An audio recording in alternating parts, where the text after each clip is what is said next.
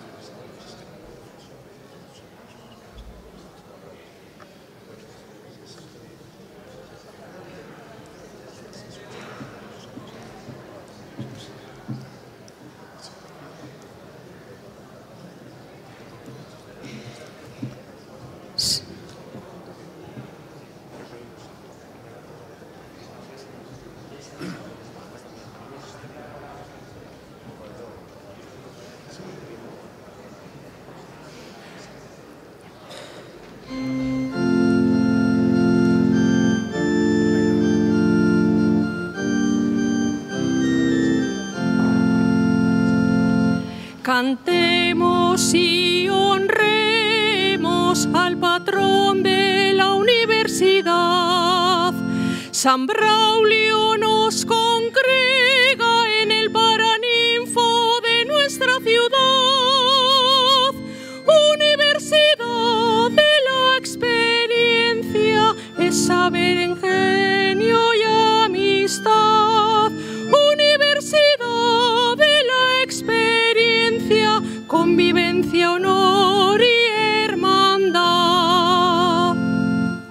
hoy nuevos graves.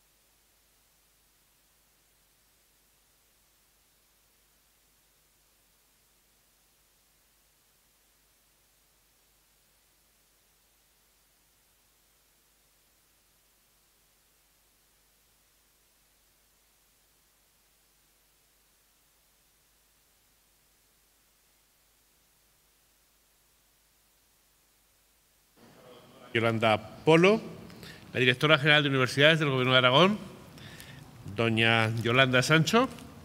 Me acompaña también el director general de Protección de Consumidores y Usuarios del Gobierno de Aragón, don Pablo Martínez, y el profesor doctor Ángel Luis Monge, como ustedes saben, es el director de esta universidad. Voy a dar la palabra al profesor Monge para que proceda a ordenar este acto. Tienes que levantar el...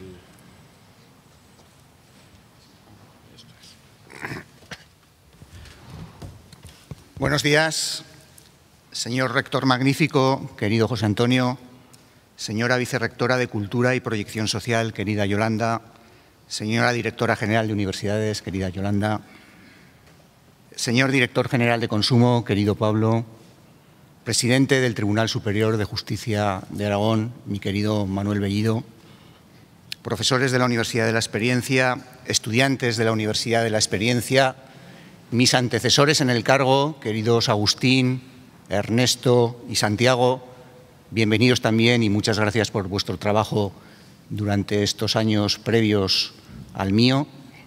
Señoras y señores, inauguramos hoy de forma solemne el curso 22-23 de la Universidad de la Experiencia de la Universidad de Zaragoza. Todo inicio de curso supone una nueva ilusión, nuevas expectativas, nuevos anhelos que ojalá al finalizar el curso se vean colmados. Quiero en primer lugar dar la bienvenida a los 200 nuevos estudiantes que se incorporan este año a la Universidad de la Experiencia. La Universidad de Zaragoza ha realizado un esfuerzo al ampliar en 30 plazas la oferta inicialmente realizada. Hemos recibido más de 500 solicitudes de preinscripción. A todos ellos quiero agradecer su confianza en la Universidad de la Experiencia y desear fervientemente que en los años venideros podamos atender su solicitud. Quiero dar también la bienvenida de nuevo a nuestros más de mil estudiantes que cursan sus estudios en la sede de Zaragoza. De la misma manera, saludo y agradezco el trabajo de los más de 300 profesores que imparten docencia en nuestras aulas. Junto con nuestros estudiantes, sois el mayor activo con el que contamos. De igual forma, agradezco muy sinceramente el compromiso del decano de Medicina, mi querido Javier Lanuza, y de todo su equipo con este proyecto. Sin ello sería muy complicado el que pudiésemos dar las clases con normalidad en la sede de Zaragoza. Al mismo modo, del mismo modo, quiero agradecer el trabajo, la dedicación y el compromiso, y quiero subrayar, más allá del deber, del equipo de la Universidad de la Experiencia. Somos pocos, pero no poco, querido rector. Gracias a Pedro Ciria, a Paco Julián y a nuestros becarios, Alex y Gaby, por todo su magnífico trabajo que realizan durante todo el año. Y gracias a mi buen amigo y compañero de promoción, Manuel Bellido, por acompañarnos esta mañana. Desde que te propuse impartir esta lección inaugural hace ya unos meses, ¿quién iba a saber que todavía sería un tema de tanta actualidad? Mm, supongo que nos contarás por qué. Solo he encontrado en ti facilidades. Gracias por dedicarnos una parte muy valiosa de tu tiempo. Se dice que este año es el año de la vuelta a la normalidad. La pandemia ha causado mucho dolor. Y la pandemia también ha supuesto una dura prueba para la Universidad de la Experiencia.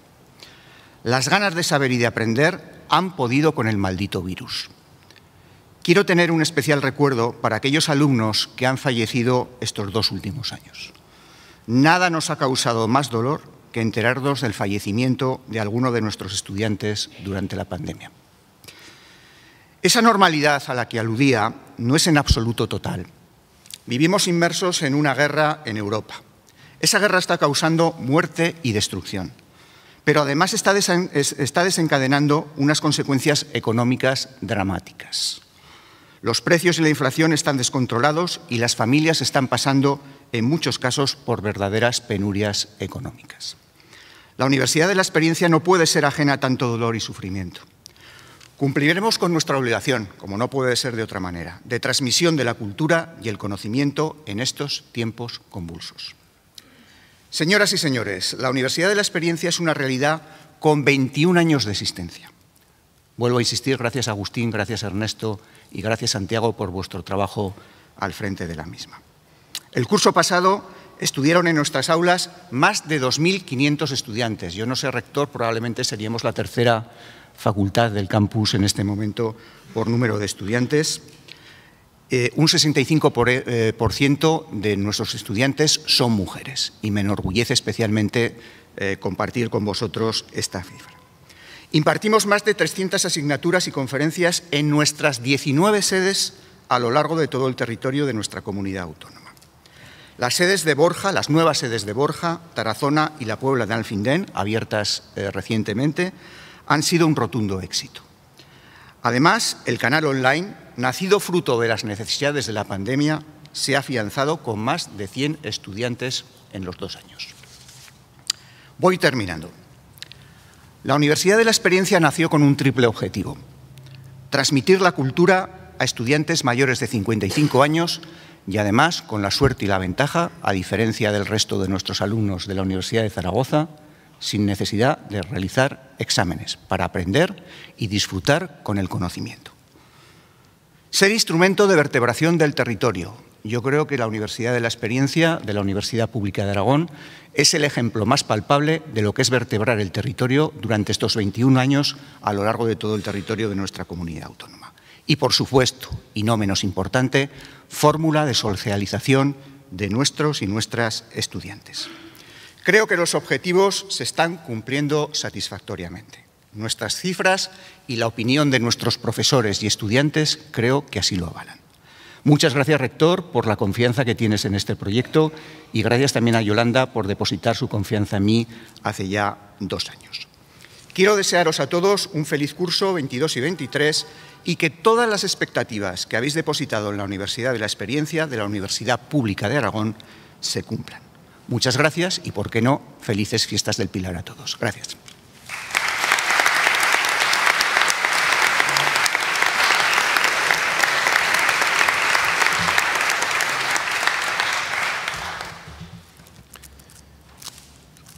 Bueno, vamos a proceder a la entrega de los diplomas. Para eso invito a Pedro Ciria,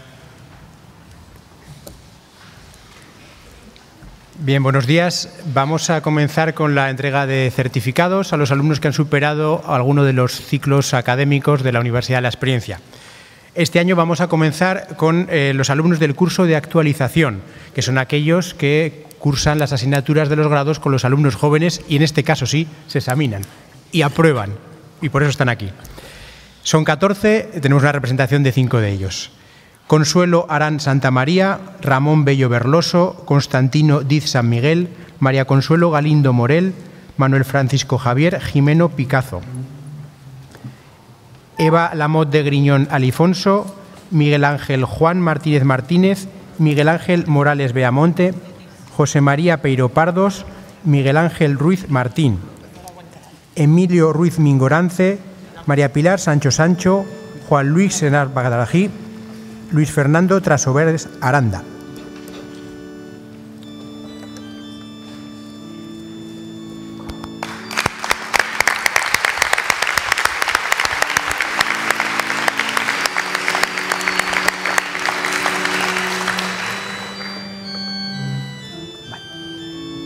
Vamos a continuar ahora con los alumnos que han superado el programa básico 1, es decir, tres años con nosotros.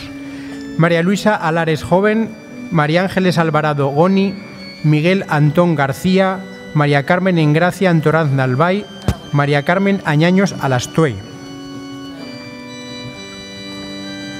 José Ignacio Aparicio Oyaluri, María Carmen Arias Juana, Josefa Arnal Ibáñez, María Dolores Bagena Soler, María Carmen Dominica Baguer Alcalá.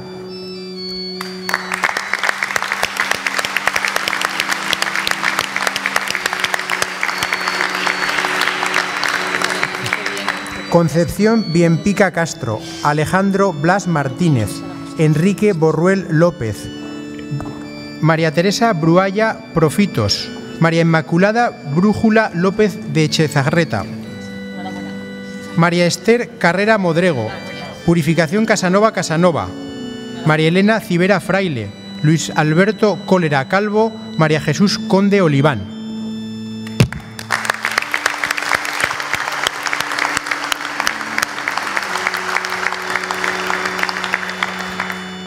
Rafael Antonio Cruz Bailo, María de los Ángeles de Juan Sevilla, María Pilar Dieste Navarro, María Isabel Domingo Úbeda, Félix Elvira García.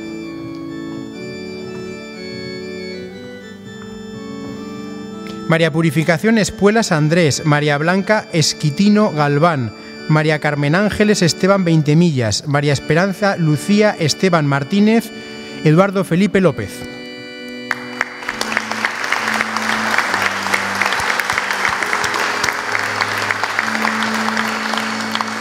María Pilar Fernández Solano, Teodora Ferrer López, María Carolina Galán Sánchez, Palmira Galay Yagüe, María Carmen Gálvez Pastor.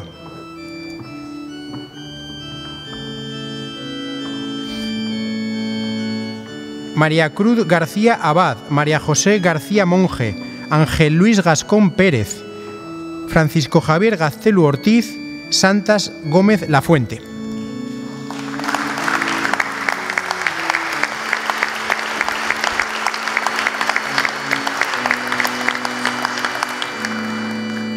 Víctor Manuel González Villarroya, María Monserrat Gracia Torrellas, María Rosa Grima Gabasa, Soledad Guillén Fuertes, María Teresa Gutiérrez Higuera.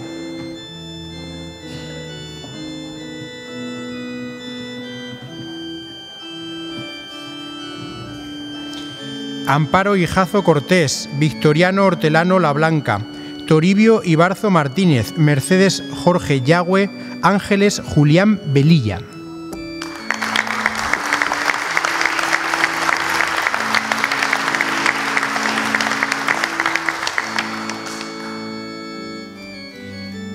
Tundemarta Kistari, María Carmen Lanero Romeo, Antonio Urbano Lario Jarque, María Carmen Larpa Verdusán, María Pilar Jesús Larraz Alonso. María Ángeles La Sala Albasini, Servando La Torre Ruiz, María Antonia Lezcano Cabrera, Matías Llopis Pérez, María Carmen Llorente Martínez.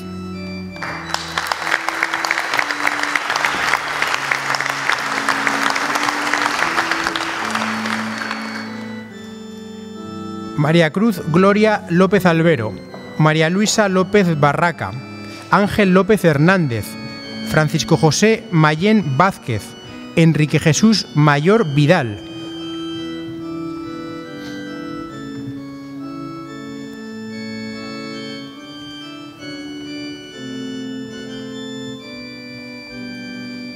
María Carmen Manso Miguel, Joaquín Marco Lusarreta, María Gloria Martín Saco, Nicolás, Nicolás Martínez Alonso, María Isabel Martínez La Justicia.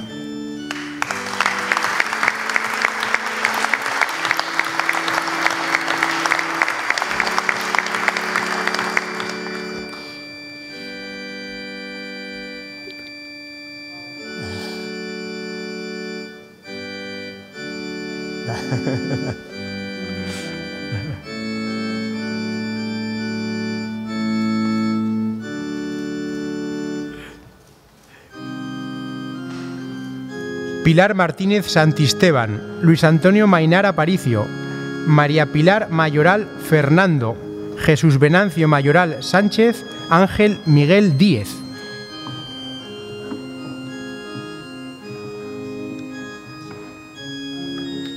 Miguel Ángel Minguillón Franco, María Carmen Eulalia Úrsula Minguillón López, José Molina Sánchez, Miguel Ángel Monés Malavilla, María Consolación Motilva Hernández.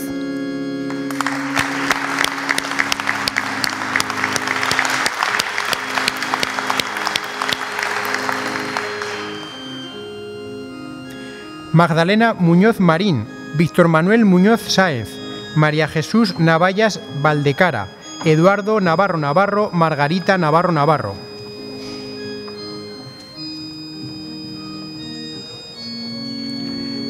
María Carmen Núñez Aragón, Ana María Carmen Oliveros Vela, Josefina Peña Rodrigo, Jesús Per Hernández, María Cruz Perales Millán.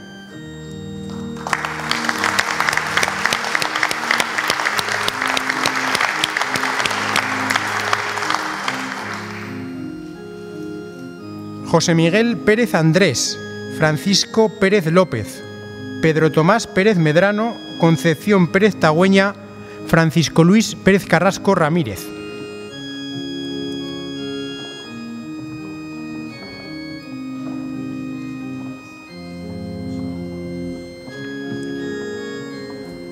Araceli Piedraíta Repiso, María de la Concepción Pimpinela Coperías, Elisa Pinilla Torres, Alberto Placeres Espino Guadalupe Polón Yoldi.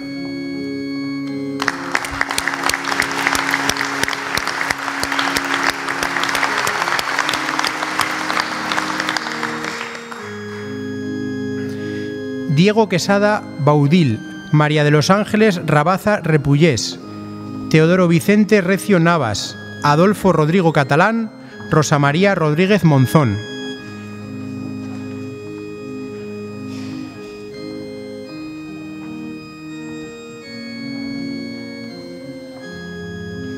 María Teresa Romay Martínez, María Pilar Ruiz Sancho, Antonio Sales García, Luis Alberto Sánchez Amato, Francisco Sánchez Sánchez.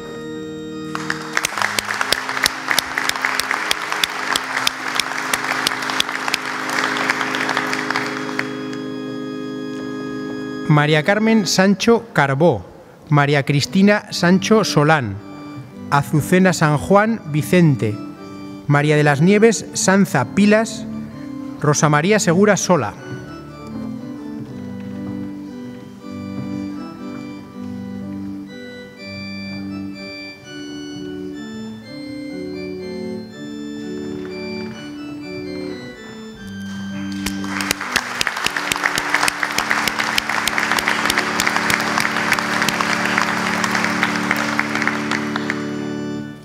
Rogelio Sigüenza Martínez, Cristanto Venancio Simón Pina, Mercedes Soler Soler, Víctor Tarragual Júdez, Luis Miguel Tejero Hernández.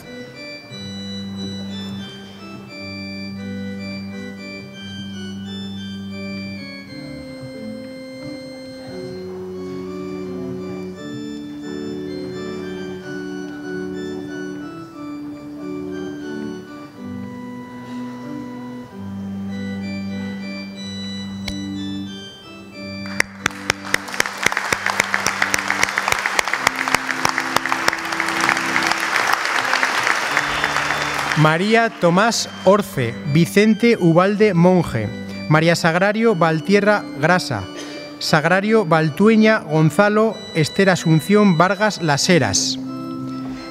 María José Vicente López, María Teresa Vidal Baches, Eusebio Viruete Belenguer, Ascensión María Soledad Zapata Salinas y José Antonio Zarazaga Pardos.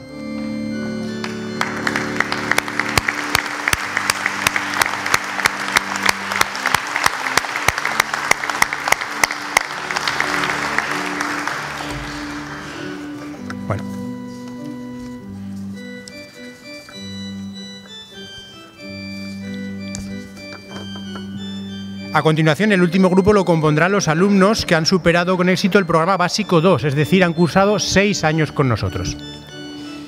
Antonio Ágreda Cerdán, Rosario Alba Coca, Mariano Ballestero Aznar, Jesús Juan Vandrés Gaudo, Leonor Barea González.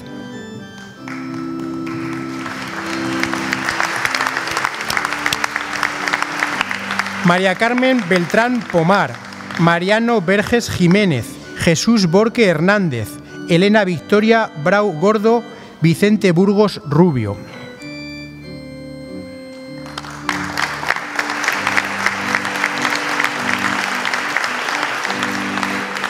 Nicolás Rafael Cabeza Lambán, Rosa Elena Carcavilla Castro, Santiago Casajús Aguado, María Luisa Casanova Ruiz, Lucía Pilar Castillo Júdez.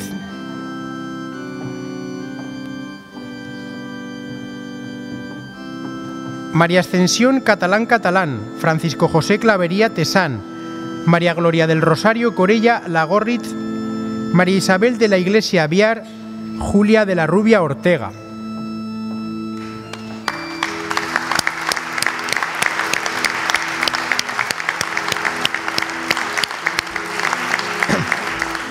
Francisco del Pino Melero, Luis Carlos Delgado Villalba, Blanca Esther Carmen Espinosa Gámez, María Pilar Esteban Bueno, María Ángeles Esteras Enar. Adoración Estrada Jimeno, María Carmen Ferreiro Sumelzo, Antonio Fleta Esteban, Esperanza Folgar Soro, Ana María Freige Martínez.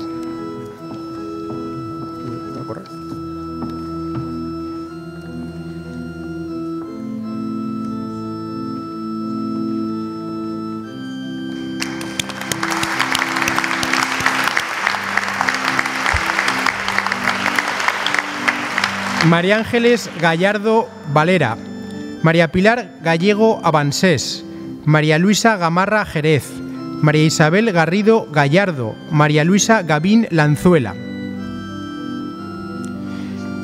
Pilar Antonia Gil Sancho, Gloria Montserrat Gracia Vicente, Lucía Rosario Enar Esteras, María del Carmen Ibáñez García, María Pilar Ilaguerri Gerenderain.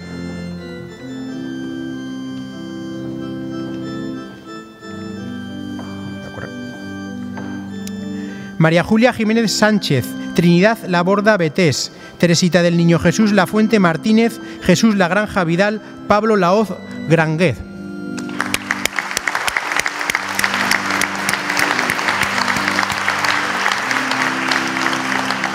María Orlanda Lana Paesa, María Cruz Blanca La Seca Borque, María Begoña La Seca Cortés, María Luisa Lázaro Peguero, María Carmen Ledesma Andrés. Ángeles Ligori Iniesta, María José Lloro Mainer, Manuela Lomba Muñoz, Elian Esperanza López Francia, Andrés Tomás Lozano Gómez, María Lucinda Lozando Luengo, María Begoña Marín Lafuente, Concepción Martín Miguel, María Carmen Martín Miguel, Concepción Martínez Herrero.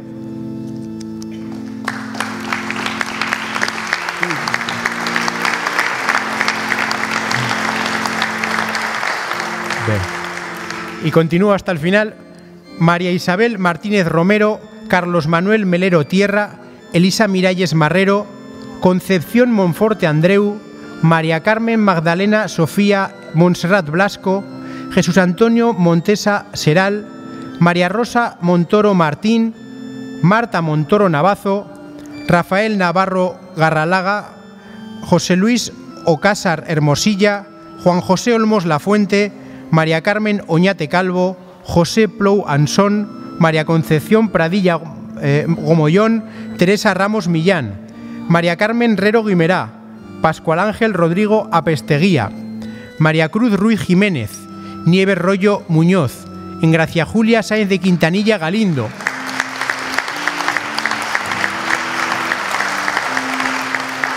María Asunción Mercedes Sánchez Abad, Nieves Sánchez Roche, Purificación Sancho Caballero, Dolores Sancho Gallego, María Ángel Pancracio Simón Gallubar, María Pilar Federica Simón Latorre, Daniel Tabuenca Navarro, María Ángeles Uliaque Úbeda, María Jesús Valero Arnal, Rosa María Valero Arnau, Juan Vallés Martí, Antonio Vázquez Ballestín, Luis Miguel Velasanz, María Pilar Vicente Serrano, Francisco Villén Hernández y Ana María Yagüe Marruedo.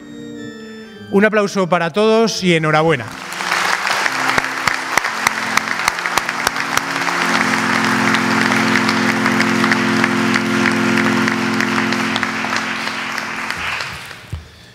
Todo curso académico comienza formalmente con una lección de apertura y en este momento tenemos la suerte este año de contar con Manuel Bellido, presidente del Tribunal Superior de Justicia de Aragón, que se pregunta si son tiempos difíciles para el Poder Judicial. Manolo.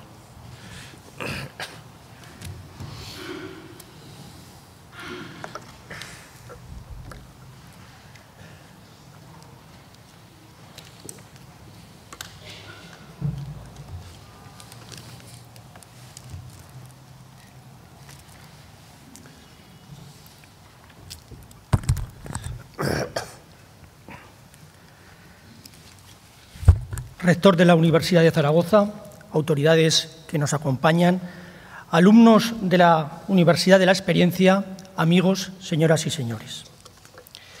Quiero agradecer en primer lugar a la Universidad de Zaragoza, en las personas de su rector y del director de la Universidad de la Experiencia, la invitación que me han cursado para impartir la lección inaugural de este curso. Para mí constituye un honor estar ante ustedes, que son un ejemplo de superación y de inquietud intelectual por ampliar y actualizar conocimientos, algo esencial en un mundo en continua transformación.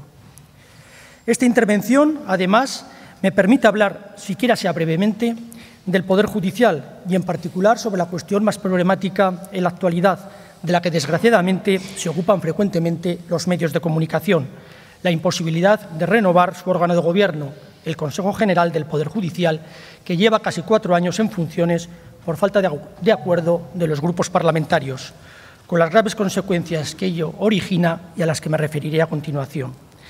De ahí el título tan expresivo de mi intervención al que se ha referido el rector, al que seguramente le sobran los signos de interrogación, ya que es evidente que estos son tiempos difíciles para el Poder Judicial. Siempre he considerado que mis obligaciones como presidente del Tribunal Superior de Justicia de Aragón comprende la divulgación y explicación de los problemas, deficiencias y necesidades de nuestra justicia, al igual que la de sus logros y virtudes. Y sin duda, el sistema de gobierno del Poder Judicial es un asunto tan relevante que merece la pena dedicar esfuerzo y tiempo en explicarlo. Me referiré a cuatro cuestiones fundamentales la explicación de qué es el Poder Judicial y qué órganos lo componen, sobre el que hay algunas inexactitudes.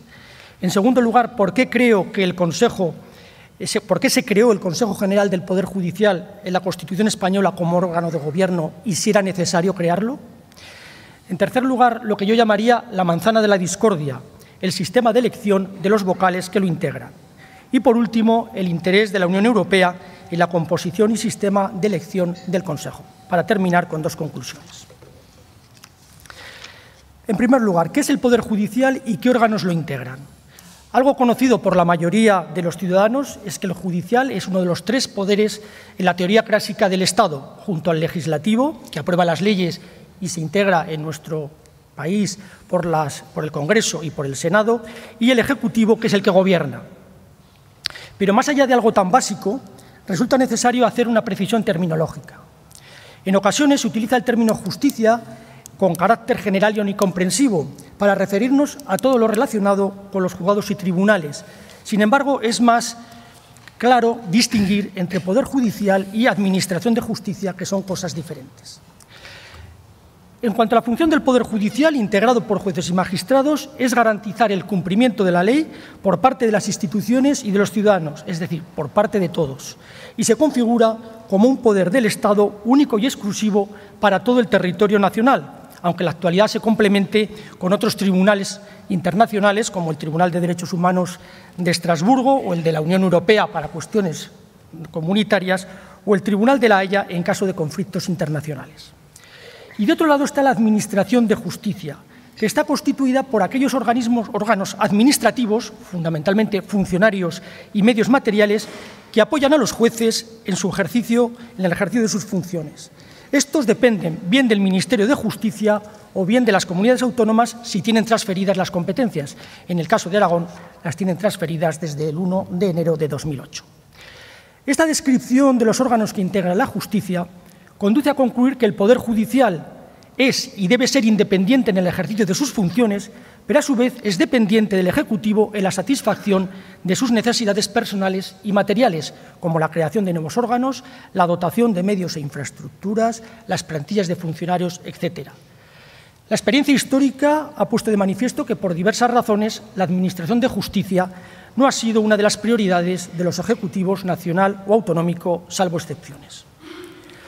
A su vez, esta distribución de competencias entre comunidades autónomas y Estado, que la ostenta sobre cinco de ellas, genera el problema de la diversidad organizativa y de medios, lo que hace, y esto es un inconveniente, que no todos los órganos judiciales funcionen igual en todas las comunidades autónomas. El tener justicias de diversas velocidades. Por ejemplo, en lo que es el desarrollo tecnológico o en la organización de la oficina judicial, hay comunidades autónomas más desarrolladas que otras. El caso, por ejemplo, de Aragón está en cabeza en el ámbito de la digitalización y, en cambio, en el ámbito de la organización de la oficina judicial no hemos realizado ninguna reforma al respecto. En cuanto al Poder Judicial, se integra por dos tipos de órganos.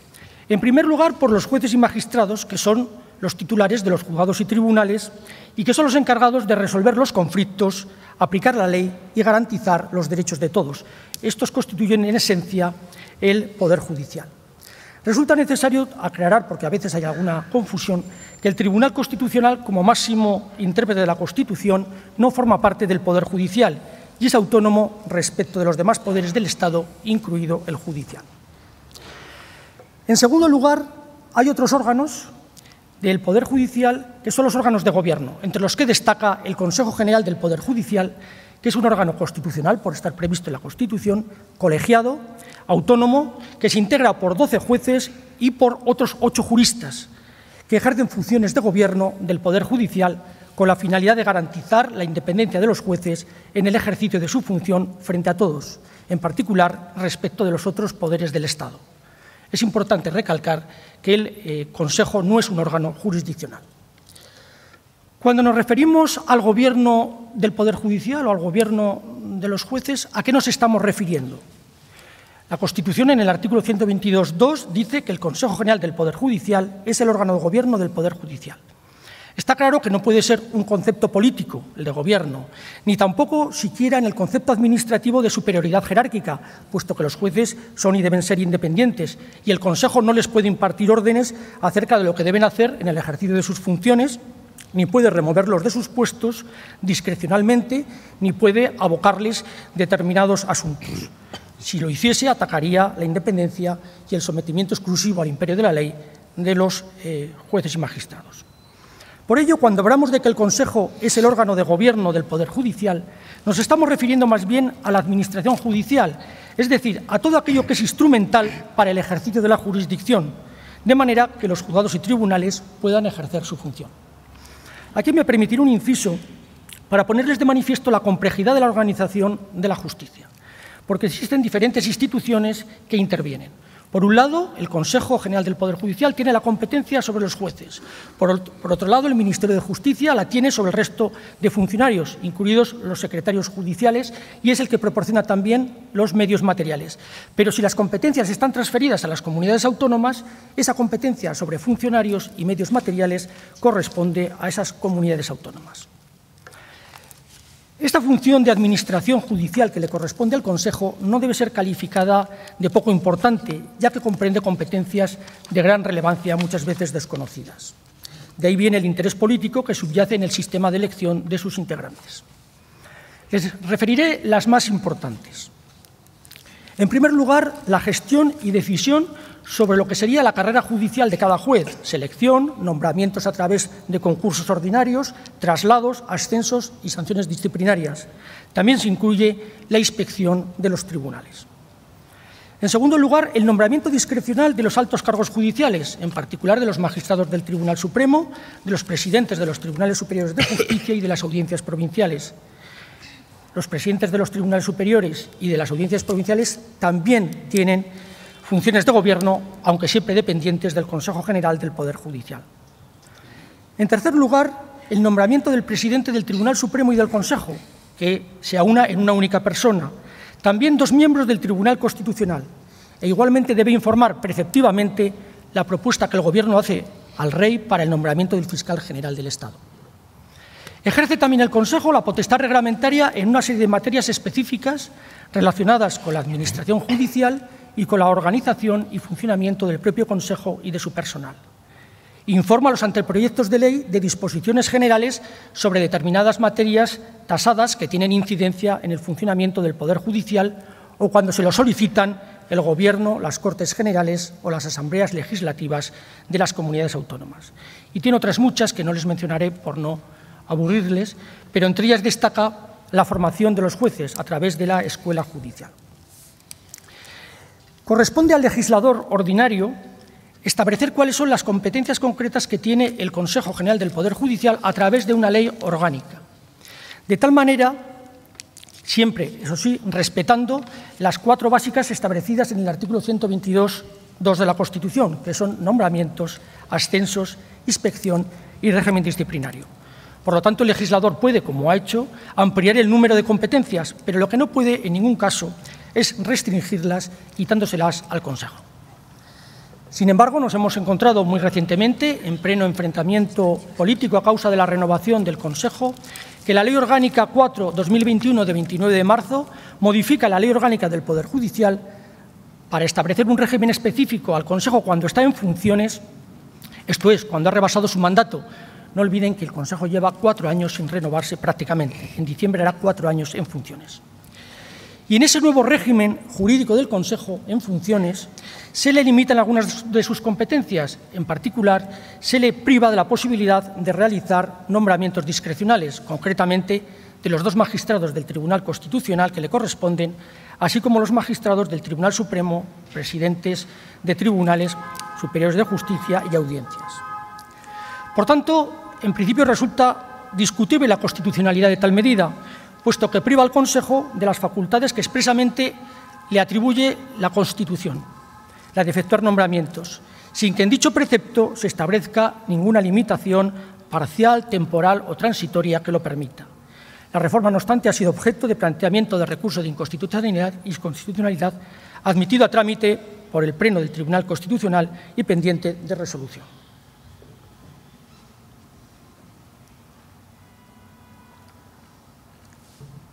Otro hecho reciente que pone de manifiesto que esta supresión de competencias carece de una justificación razonable es que tan solo unos meses después de sustraerse al Consejo los nombramientos de los cargos judiciales a los que me he referido, entre los que se encuentran dos de los magistrados del Tribunal Constitucional, la Ley Orgánica 8-2022, por el trámite de urgencia, le ha restituido la competencia para nombrar a estos últimos, pero se mantiene la imposibilidad de designar a los magistrados del Tribunal Supremo, así como al resto de presidencias de los tribunales. Esta limitación en la competencia para realizar nombramientos está causando un grave problema en el funcionamiento de los tribunales, en especial en el Tribunal Supremo, que no puede cubrir las vacantes que se producen. En su reciente discurso de apertura del Tribunal Supremo, presidido por Su Majestad el Rey, el presidente del Consejo ha cuantificado los devastadores efectos que genera la imposibilidad de reponer las plazas vacantes en el Tribunal Supremo, que pronto alcanzarán al 25% de sus efectivos. También están sin cubrir 49 presidencias de las 116 existentes en nuestro país. Especialmente grave es la situación en la Sala de Justicia del Tribunal Militar Central, que si no se remedia a finales de año dejará de actuar por falta de todos sus miembros procedentes del cuerpo jurídico militar predeterminados en la ley, ya que las vacantes no han podido ser repuestas. Esta situación supone, entre otras consecuencias, una importante reducción del número de sentencias dictadas por el Tribunal Supremo, así como un grave retraso en la admisión de los recursos de casación, todo ello con efectos desoladores en la función de creación de la jurisprudencia que repercute en el resto de órganos judiciales. Para concretarles más, en el caso de Aragón, actualmente hay dos vacantes que no se pueden cubrir por este motivo. La presidencia de la Audiencia Provincial de Teruel y la plaza de magistrado del turno autonómico de la Sala Civil y Penal de este Tribunal Superior de Justicia. Entremos ya a la segunda cuestión. ¿Por qué se crea el Consejo General en la Constitución española como órgano de gobierno y si era necesario? La cuestión reviste interés porque los modelos de gobierno del Poder Judicial no son eh, iguales en todos los países de nuestro entorno, en los países europeos. En algunos de nuestra órbita, como es el caso de Alemania, no existe el Consejo General del Poder Judicial, sino que sus funciones son asumidas por el propio Ejecutivo bajo la supervisión del Legislativo, aunque con garantías para no aceptar la independencia judicial. Por ponerles un ejemplo, en Alemania el régimen de sanciones a los jueces no corresponde al Poder Ejecutivo, sino que está judicializado. Sin embargo, el legislador constitucional español de 1978 optó por seguir el sistema franco-italiano posterior a la Segunda Guerra Mundial. La finalidad de crear el Consejo, la finalidad de crear el Consejo era atribuirle, como mínimo, las funciones relativas al régimen de nombramientos, ascensos, inspección y régimen disciplinario de los jueces, para sustraérselas al Ministerio de Justicia, que las detentaba hasta ese momento, y reforzar así la independencia judicial. Esto se comprende fácilmente si se tiene en cuenta que con carácter general el juez ingresa joven en la carrera judicial mediante un sistema meritocrático, oposición o concurso, que además de proporcionarle una sólida formación, tiene la gran ventaja de sustraer su selección al poder político evitando el clientelismo. Sin embargo, existe un riesgo y es que en su vida eh, profesional, de manera legítima, quiera acceder a altos cargos judiciales, quiera promocionarse, lo que le puede hacer sensible a todo aquello que pueda afectar a sus expectativas de promoción, algo que es humanamente comprensible. Para sustraer las decisiones sobre la carrera profesional del juez al Poder Ejecutivo, se crean los consejos de la magistratura como órganos independientes. Pero como veremos a continuación, el problema puede reproducirse si los miembros que integran el órgano que decide sobre la carrera profesional del juez, en este caso el Consejo, se eligen dentro del, circuito político mediante un sistema en el que priman criterios políticos o ideológicos. Y entramos ya en la tercera parte de mi intervención.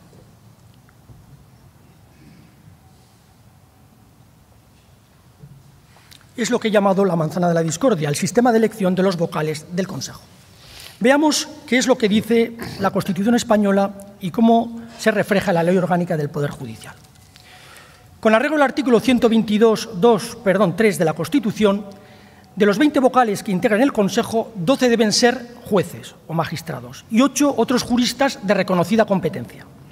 En el caso de los juristas, la Constitución es clara y especifica que cuatro lo serán a propuesta del Congreso de los Diputados y otros cuatro a propuesta del Senado, elegidos en ambos casos por mayoría de tres quintos de sus miembros, entre abogados y otros juristas. Normalmente proceden, cuando son otros juristas, de la universidad, de la Fiscalía o son letrados de la Administración de Justicia. Todos ellos de reconocida competencia y con más de 15 años de ejercicio profesional. Sin embargo, en el caso de los vocales de procedencia judicial, es decir, los que son jueces, la Constitución es menos clara, es más vaga. Se limita a decir que se, elegirán en los términos que establezca la ley orgánica del Poder Judicial. Si bien la idea originaria del legislador constitucional, como acreditan los debates parlamentarios, fue que se eligieran por los propios jueces. En la primera ley orgánica del Poder Judicial, la de 1980, la elección, respondiendo a esta idea del legislador constitucional, se realizó mediante sufragio entre los propios jueces y magistrados. Sin embargo, el sistema se reformó en la ley orgánica de 1985 de manera que a partir de ese momento la elección de los doce vocales judiciales también se efectúa por las Cortes Generales, seis por el Congreso y seis por el Senado, en ambos casos por mayoría de tres quintos, como sucede con los de procedencia no judicial. Cuando se produjo la modificación del sistema original en el año 85, de manera que los vocales judiciales ya no se elegían por los propios jueces, sino por las, por las Cortes, la cuestión suscitó una gran controversia que se ha mantenido durante todos estos años. Se planteó cuestión de inconstitucionalidad y el Tribunal Constitucional, al resolver sobre la cuestión en la sentencia 108.986, consideró por unanimidad que no se vulneraba el precepto constitucional en cuanto éste permitía diversas regulaciones constitucionalmente admisibles, si bien reconoció la existencia del riesgo de que ese cambio implicase traspasar a la carrera judicial las divisiones ideológicas existentes en la sociedad, especialmente si las cámaras olvidaban el objetivo del pluralismo y atendían solo a la división de fuerzas existentes en su propio seno y distribuían los puestos a cubrir entre los distintos partidos en proporción a la fuerza parlamentaria de estos. Es el sistema de distribución por cuotas de poder, que es lo que ha venido sucediendo durante todos estos años, cualquiera que haya sido el color político del partido que haya gobernado. El propio Tribunal Constitucional recomendó modificar el sistema de elección de los vocales judiciales al igual que lo han hecho de manera más reciente otros organismos internacionales como el Grupo de Estados contra la Corrupción del Consejo de Europa, llamado GRECO, organismo destinado a mejorar la capacidad de los Estados miembros en la lucha contra la corrupción, que su informe de 2019 vuelve a señalar que sigue sin solucionarse el talón de Aquiles de la Judicatura española, su supuesta politización derivada de la forma de elección de los vocales judiciales del Consejo. Sin embargo, pese a los años transcurridos y a que algún partido político lo ha llevado en el programa electoral, no se ha modificado el sistema.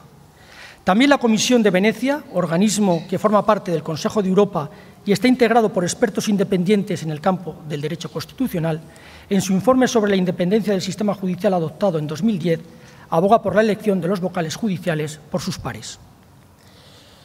¿Cuáles son los efectos que el actual sistema de elección de los vocales del Consejo ejerce y la percepción ciudadana sobre el Poder Judicial. Sin duda, el principal inconveniente del sistema actual de elección por las Cortes Generales es que se trasvasa al órgano de gobierno de los jueces la contienda política mediante el reparto de los vocales del Consejo en función de las cuotas de poder que ostentan los grupos parlamentarios en las cámaras, como ha puesto de manifiesto la experiencia desde el año 1985. Desde que se instauró el actual sistema de elección, en todas las renovaciones del Consejo ha sucedido lo mismo. Los grupos parlamentarios han negociado sobre la base de su representación en las cámaras. Esta situación, además de afectar al funcionamiento del Poder Judicial, transmite una imagen de politización de la justicia que mina la confianza de los ciudadanos en su independencia. En realidad, el problema es más de percepción que de realidad.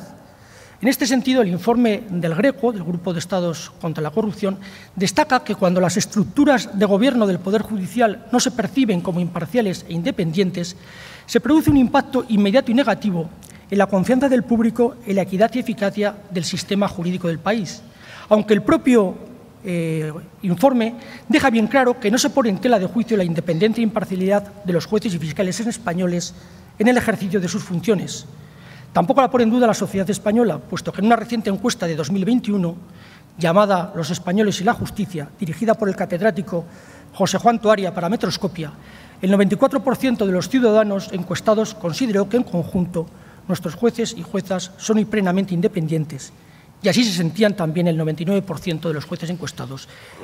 Yo puedo añadir que yo creo que lo demuestran con su trabajo diario. Llegados a este punto, me gustaría realizar un pequeño análisis de algunas cuestiones que afectan a la percepción social del Poder Judicial en nuestro país y que creo que pueden resultar de interés en el tema que nos ocupa.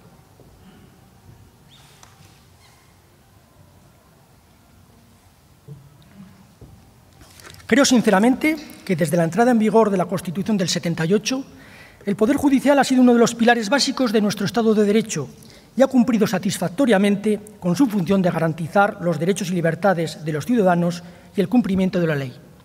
Y lo ha hecho pese a la complejidad de la vida española durante todos estos años de democracia, desempeñando un papel fundamental en la solución de los graves problemas que se le han planteado, entre los que destacan, por poner algún ejemplo, la lucha contra el terrorismo, la investigación y enjuiciamiento de los casos de corrupción que tanto han desmoralizado a nuestra sociedad, la protección de los más débiles durante los años de profunda crisis económica y, muy especialmente en estos últimos años, la defensa del Estado de Derecho y del orden constitucional ante el secesionismo unilateral de Cataluña o, por referirme a una actualidad más reciente, en la defensa de la legalidad y de los derechos de los ciudadanos durante la pandemia COVID-19, en la que se ha dispuesto de una legislación sobre sanidad pública anticuada y deficiente.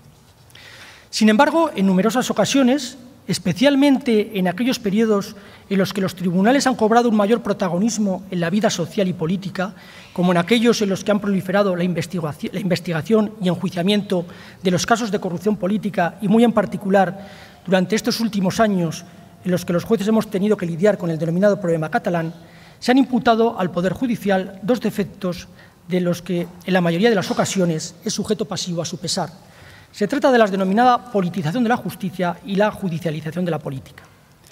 Empezando por esta última expresión, muy en boga en estos últimos años, cuando se escucha que hay que desjudicializar el conflicto catalán o cualquier otra cuestión, con ella normalmente se quiere decir que los jueces, cuando intervienen en casos que tienen trascendencia política, sobre todo en los ámbitos penal y contencioso administrativo, pretenden interferir en la vida política. En tono peyorativo se dice que gobiernan los jueces. Nada más lejos de la realidad. El Poder Judicial tiene como función esencial asegurar el cumplimiento de la ley por todos los ciudadanos, instituciones y los otros poderes del Estado, lo que conlleva tanto el control del poder político como el de la legalidad de la actuación administrativa. Por ello, cuando los jueces intervienen en asuntos de trascendencia política o investigan y enjuician la actuación de quienes ostentan cargos políticos o públicos, están cumpliendo con la función que les es propia, obviamente siempre que actúen con independencia, imparcialidad y en aplicación de criterios exclusivamente jurídicos y de legalidad, y no por razones de conveniencia o oportunidad, que legítimas en el ámbito de la política están vedadas al Poder Judicial. Sinceramente creo que los jueces, salvo contadas excepciones que pueden aparecer en cualquier profesión y país, actúan objetivamente aplicando criterios jurídicos y de legalidad y no de oportunidad política. Por tanto, la llamada judicialización de la política no es cierta, sino más bien la expresión del interés del poder político de no quedar sujeto al control de los jueces. En cuanto al problema de la denominada politización de la justicia, considero, como ya he adelantado, que es más de percepción que de realidad y obedece principalmente a dos causas. La primera es la costumbre de nuestro país de etiquetar el trabajo judicial apelando a criterios ideológicos relacionados con el perfil conservador o progresista que se atribuye al juez, normalmente por la prensa, como consecuencia de su pertenencia a una determinada asociación judicial o también por sus creencias, ideología o comportamientos en la esfera de la vida privada, como si le impidiese resolver con objetividad e imparcialidad. Estas calificaciones previas, a modo de prejuicios, generan en los ciudadanos dudas sobre la legitimidad de las resoluciones judiciales, sobre todo en aquellos casos de mayor repercusión social. Al respecto, resulta interesante comentar que el Tribunal Constitucional ha señalado que en el sistema de valores instaurado por la Constitución, la ideología se haya sustraída al control de los poderes públicos, de manera que nadie puede ser descalificado como juez en razón de sus ideas. Además, y esto lo añado yo, creo que sería altamente sospechoso una persona que no tuviese ningún tipo de ideas ni ningún tipo de ideología. Eso es prácticamente imposible la realidad. Pero la segunda cuestión, sin duda la más relevante y a la que ya me he referido, es el reflejo que la politización del sistema de elección de los vocales del Consejo tienen en el sistema judicial, de manera que los ciudadanos perciben que la política influye, aunque sea indirectamente, en los nombramientos discrecionales para las plazas de mayor relevancia de la carrera judicial que se realizan por el Consejo.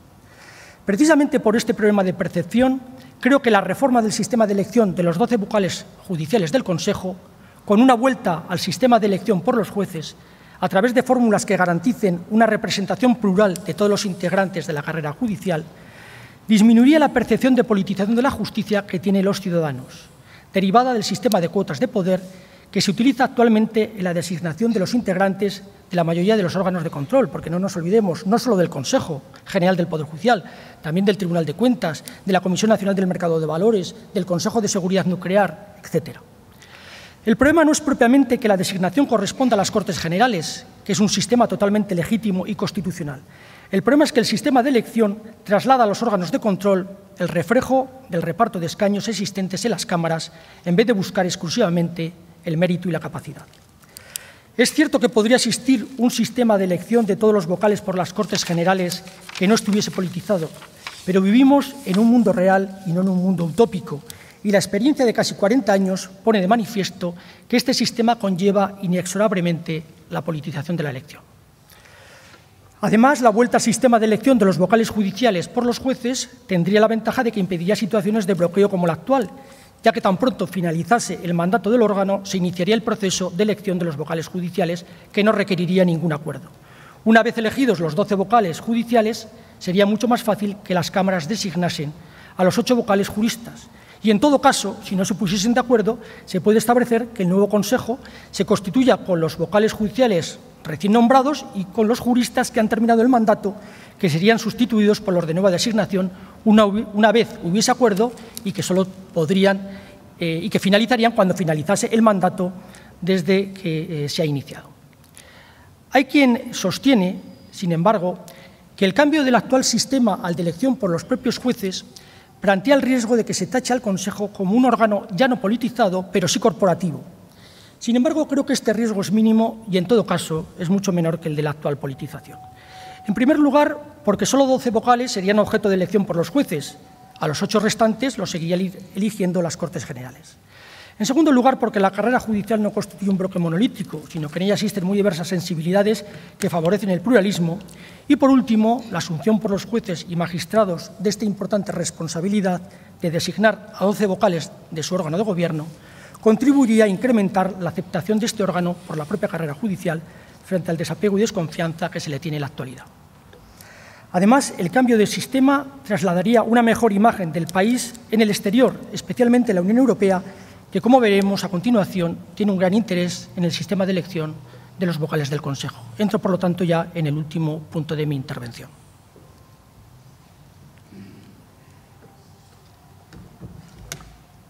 Como último punto a tratar, me gustaría hacer referencia a este interés europeo en la forma de designación de los vocales del Consejo. Este interés, además, se comprueba por los reiterados llamamientos de la Comisión de la Unión Europea para solucionar el problema de la falta de renovación del Consejo y de su sistema de elección. Sin ir más lejos, la pasada semana nos visitó el comisario de Justicia, el señor Didier Reinders, con esta finalidad. La razón del interés europeo es evidente, ya que resulta imprescindible para la propia existencia y cohesión de la Unión Europea que los poderes judiciales de sus Estados miembros sean plenamente independientes de los poderes ejecutivo y legislativo de sus países de origen. Solo de esta manera se puede garantizar la primacía del derecho de la Unión sobre los derechos nacionales. Este es el principio de primacía del derecho comunitario. Siempre prevalece sobre el derecho interno. No debemos olvidar que desde, nuestra integración en Europa, los jueces nacionales, ya sean españoles, alemanes, griegos o de cualquier otro país, son también jueces comunitarios, obligados a aplicar el derecho de la Unión Europea que prevalece sobre el interno. Si estos jueces nacionales y a la vez comunitarios no son independientes de los poderes legislativo o ejecutivo de sus propios países, corren el riesgo de estar influenciados y sujetos a las presiones de sus gobiernos en las disputas jurídicas que surjan entre los Estados a los que pertenecen y la Unión Europea, dando prevalencia al derecho nacional sobre el comunitario, justo lo que contrario al principio de primacía del derecho comunitario. Esto es lo que ha sucedido en el caso de algunos países, incluida Alemania, pero sobre todo en Polonia y Hungría, países que están realizando reformas que atentan claramente contra la independencia de los, jueces a los que pretenden someter. En el caso de España no nos encontramos ni mucho menos en la situación de Polonia-Hungría. Sin embargo, la Unión Europea pone de manifiesto cuáles son nuestros puntos débiles en materia de independencia judicial como ha hecho también con otros países cuyo pedigrí democrático no es discutido. Así, en el documento de trabajo preparado por los servicios de la Comisión al informe sobre el Estado de Derecho en 2021, en el capítulo dedicado a España se señalan como principales desafíos relacionados con el Poder Judicial los ya mencionados. En primer lugar, la falta de renovación del Consejo por el desacuerdo de las Cortes y, en segundo lugar, la necesidad de establecer un sistema de elección de los jueces miembros del Consejo que se realice por, los propios, por la propia carrera judicial, que es el sistema que prevalece fundamentalmente en los países europeos que tienen también Consejo de la Magistratura. Y ya para finalizar, haré simplemente dos conclusiones. Coincido plenamente con el documento de la Comisión Europea. Por lo que se refiere a la falta de renovación del Consejo, ya me he pronunciado con claridad en muchos foros. Resulta imprescindible de manera inmediata su renovación. Esta situación, derivada de la falta de acuerdo de los grupos parlamentarios, es una grave irresponsabilidad que mina la credibilidad que los ciudadanos tienen en sus instituciones, transmite una sensación de politización de la justicia, perjudica la imagen de España en Europa y dificulta el funcionamiento del Consejo General del Poder Judicial, situación que se ha agravado tras la reforma efectuada y a la que me he referido al limitar sus funciones de nombramiento. Por lo tanto, este perjuicio se extiende ya a eh, los órganos judiciales y en particular al Tribunal Supremo. Y en segundo lugar, y en cuanto al sistema de elección de los vocales de procedencia judicial, también me he pronunciado a favor de que sea por sufragio de todos los jueces y magistrados por las razones ya expuestas. Eso sí, tiene que ser un sistema de elección que permita que se puedan presentar todos los jueces, tanto asociados como no asociados, y de carácter proporcional, para que los elegidos representen la diversidad de la carrera judicial. Solo si el sistema de sufragio es justo, será aceptado por la propia carrera judicial y tendrá avisos de permanecer en el tiempo. Espero que esta intervención les haya permitido tener un mayor conocimiento sobre una situación de gravedad y sobre la situación actual del Poder Judicial. Muchas gracias.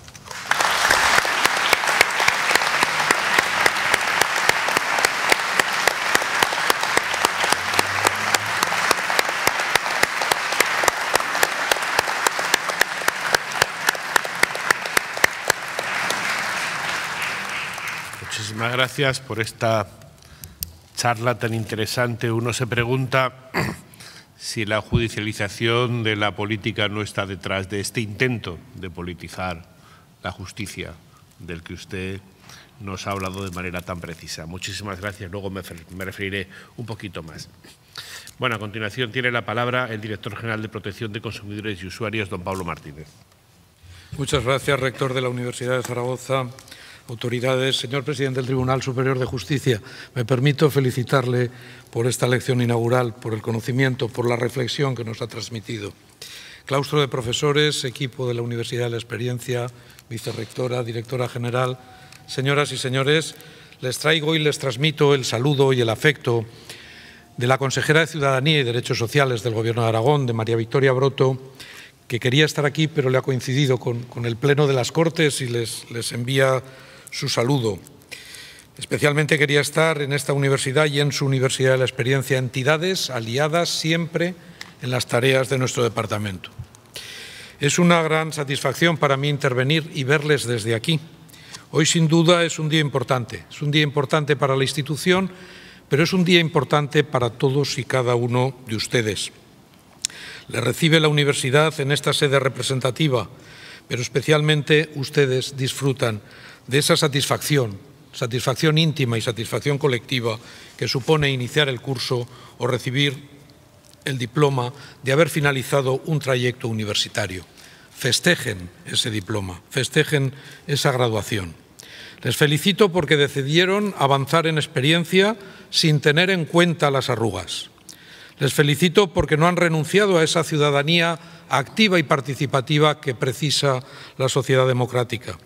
Les felicito por su actitud constante de no dejar que las arrugas que genera la inactividad afecten a una vida plena que sigue acumulando experiencia y aportándola a los demás. Y eso es precisamente lo que pone en valor a la Universidad de la Experiencia, la actitud de sus alumnas y alumnos, su actitud, su manera de ser y estar en una sociedad en continuo cambio, con nuevos retos y realidades. Venir a la universidad significa disponerse a crecer en saber, en habilidades, en cultura y en conocimiento, pero también en compromiso con la sociedad.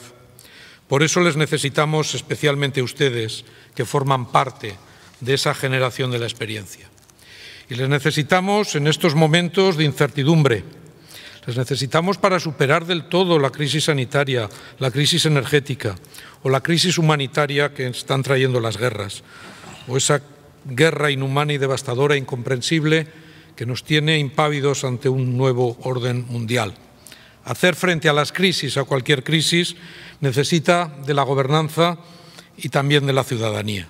Por eso ni los gobiernos ni la sociedad pueden prescindir de sus arrugas, de su valor y de su experiencia. Y felicitamos desde el Gobierno de Aragón a la Universidad de la Experiencia porque en estos años de andadura ha visto multiplicado su valor, su presencia se ha extendido por el territorio aragonés, ha incrementado su oferta de cursos y actividades, ha abierto la puerta en 19 sedes diferentes y en las tres provincias y se ha abierto también a la formación online, incorporando al alumnado a la digitalización. Quiero destacar su expansión por el territorio, su vocación por dar vida universitaria a tantos municipios de Aragón, que es sin duda una respuesta certera ante la despoblación y el reto demográfico la apuesta de la Universidad de la Experiencia por la igualdad de oportunidades contribuye a generar calidad de vida en el medio rural, extendiendo en el conocimiento y la cultura por todas las comarcas de Aragón. Y quiero poner en valor la alianza que tenemos entre el Gobierno de Aragón y la Universidad, porque a lo largo de estos cursos anteriores hemos conseguido consolidarla. Nuestros destinatarios y nuestro objetivo son plenamente compartidos. Todas las personas y todos los ciudadanos somos consumidores. De ahí nuestro convenio para dotarles de procedimientos eficaces para su protección frente a prácticas comerciales desleales y formar para un consumo responsable, solidario y sostenible.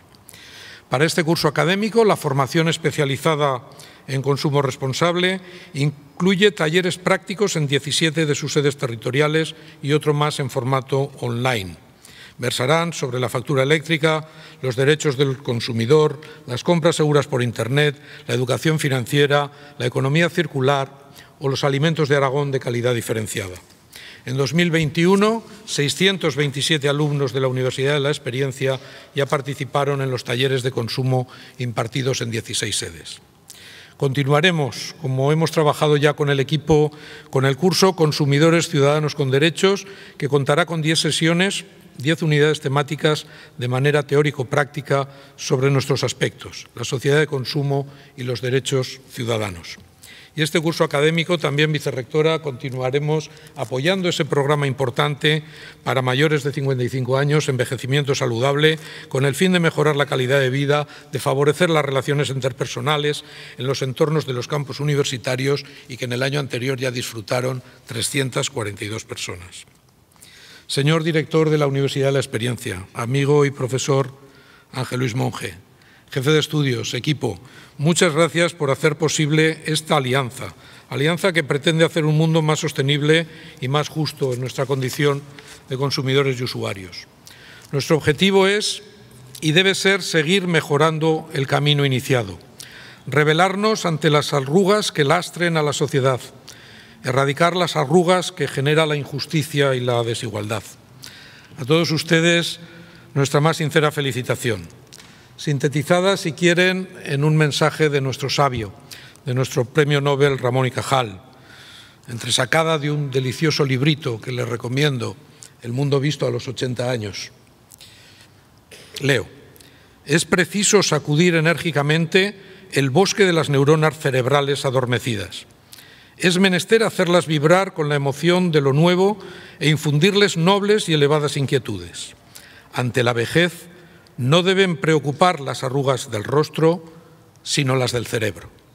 Sin más, les deseo un feliz curso 2022-2023. Que lo disfruten.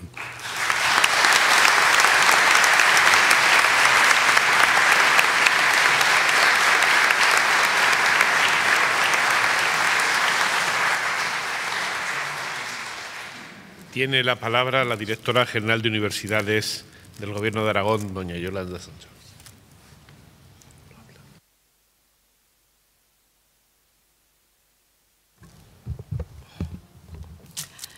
Hola, muy buenos días a, todas y, a todos.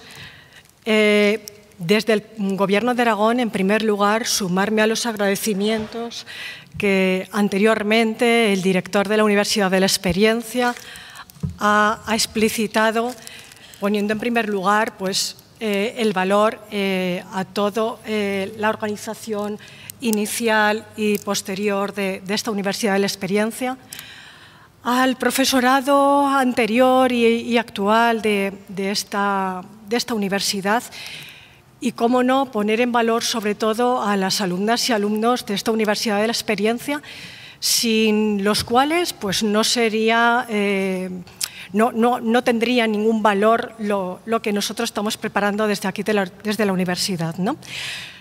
Eh, informaros que en estos momentos se está tramitando en el Congreso de la Nación la nueva ley de, ordenación del sistema universitario.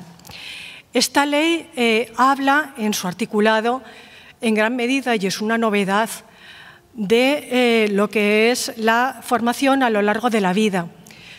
Y habla de la impartición de microtitulaciones, microgrados y demás pero aquí la, Universidad de Zaragoza se adelantó en gran medida con la creación de esta Universidad de la Experiencia, en la que permite que personas que se supone que ya habéis pasado eh, la etapa de aprendizaje académico, podáis participar y podáis integraros en eh, la eh, comunidad universitaria de la Universidad de Zaragoza.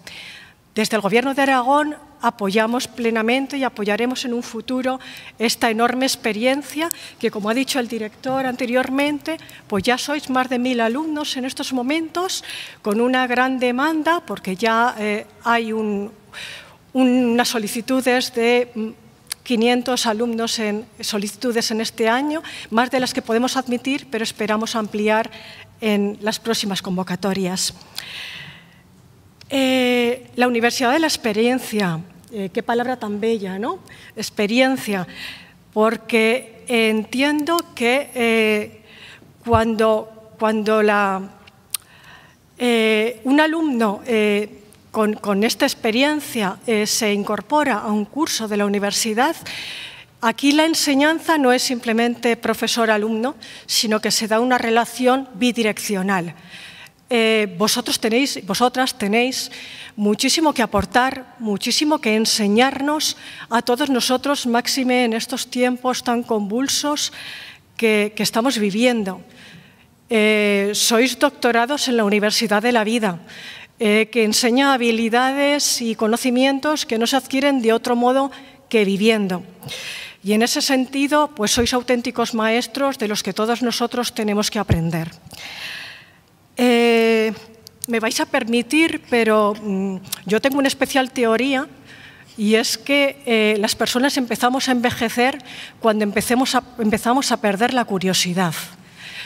Y en ese sentido creo que todas vosotros, vosotros, eh, estáis manteniendo dentro de sí esa curiosidad que tenemos todos de niño, esa curiosidad insaciable e infinita por conocer todo, por aprender todo. Algunas personas la van perdiendo por el camino, otras pues eh, la intentan, luchan por, por, mantenerla y creo que eso es digno de mérito. Eh, entiendo y me da la impresión de que todas vosotras, todos vosotros sois de, de esas personas que eh, ha intentado eh, trabajar para mantener esa curiosidad, que, es un trabajo que, requiere eh, intención y requiere un poquitín de esfuerzo, pero que, se puede realizar. dicen que, el, que el saber no ocupa lugar, yo diría también, y no tiene edad no debería tener edad. Más allá de que las universidades están pensadas para formar a nuestros jóvenes en habilidades profesionales, científicas, demás, para llevar a cabo una trayectoria vital, eh, debería estar abierta a todas las personas en cualquier etapa de la vida. Y en eso, desde el Gobierno de Aragón, apoyaremos siempre a la Universidad de Zaragoza.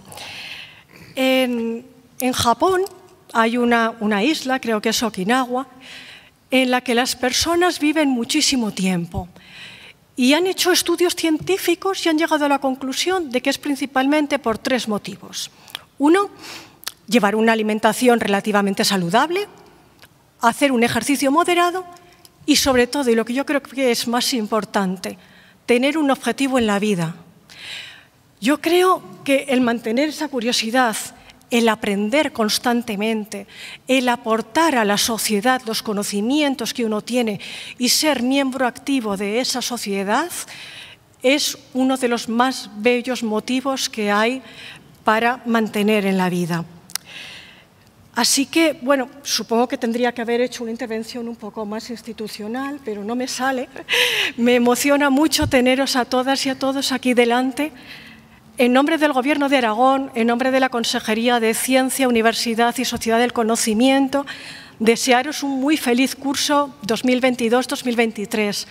Que sepáis que nos sentimos orgullosos de todos vosotros. Muchas gracias.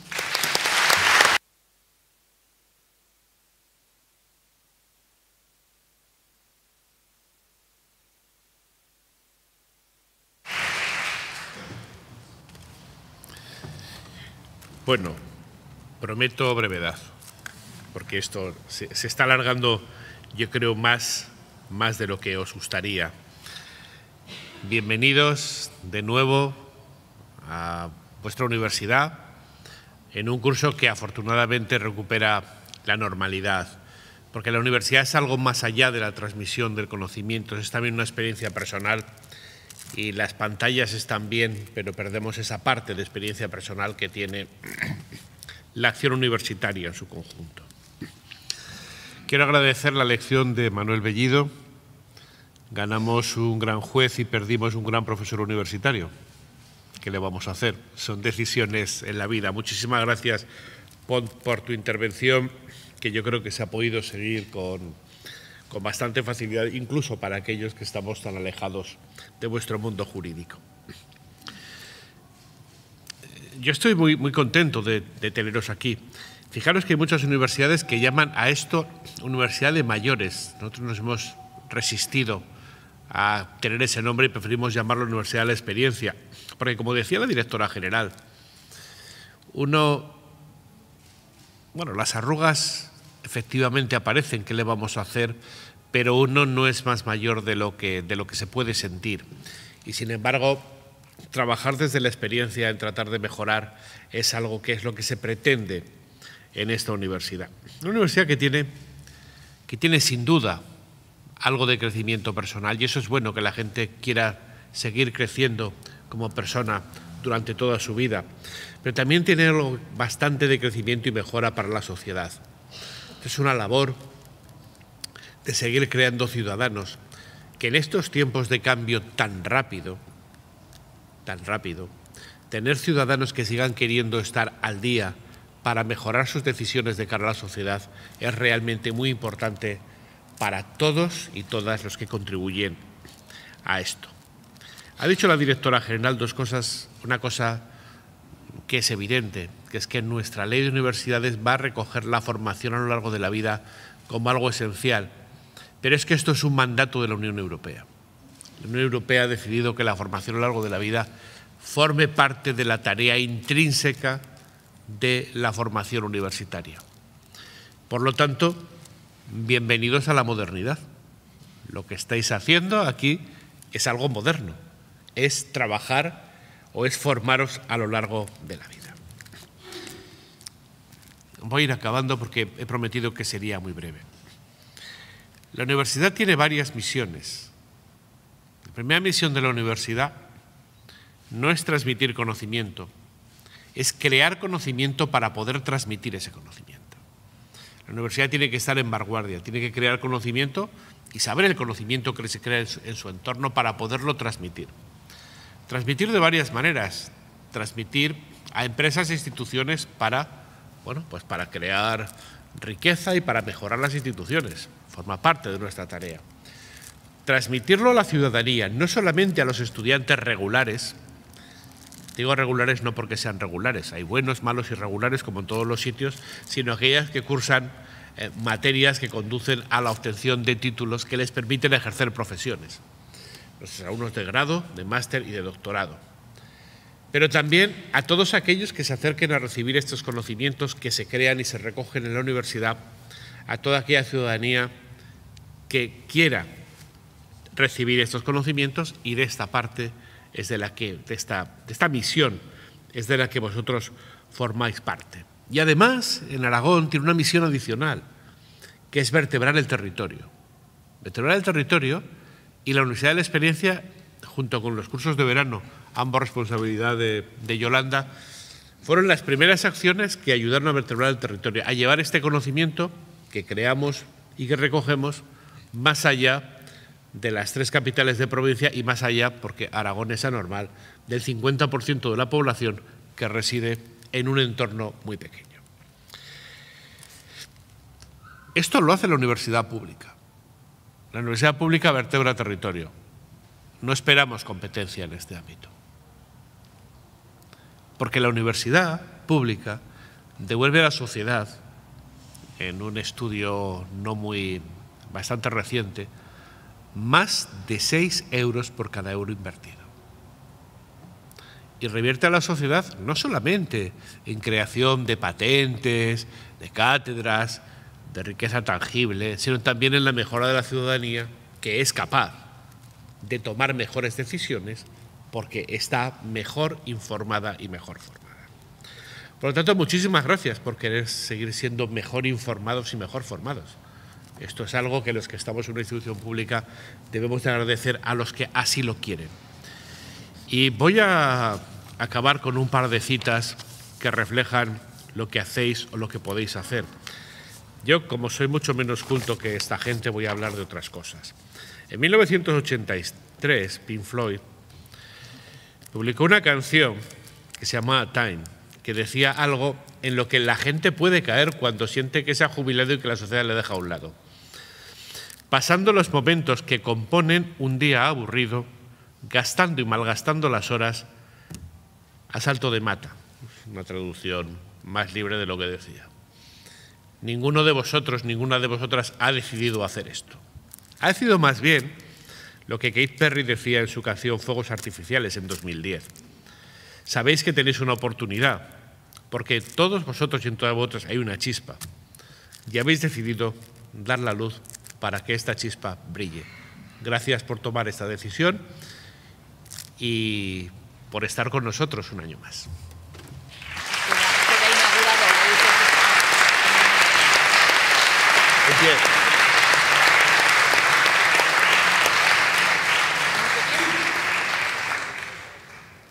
Declaro inaugurado el curso académico 2022-2023 de la Universidad de la Experiencia.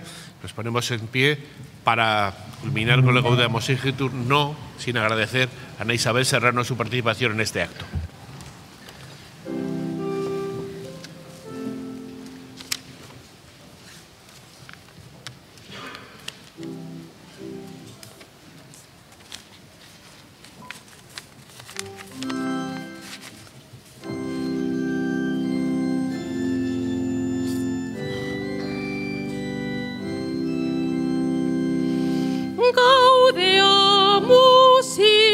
jur, jur.